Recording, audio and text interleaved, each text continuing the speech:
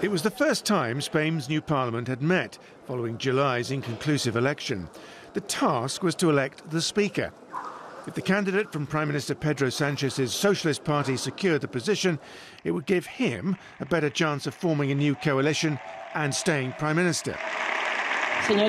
Your Honours, the result of the vote is as follows. Votes cast 350, 178 in favour of Mrs. Francina Armengol. Victory for Sanchez and a blow to the Conservative People's Party leader Alberto Núñez Feijóo, who also hopes to form the next government. The new speaker vowed to protect the interests of Spain's regions.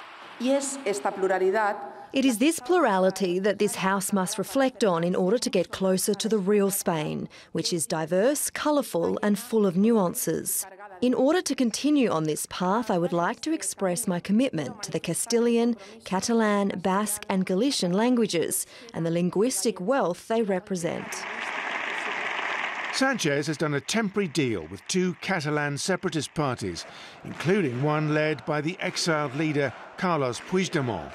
Originally, it had demanded an immunity deal for the 2017 illegal independence referendum wanted another referendum in return for their support.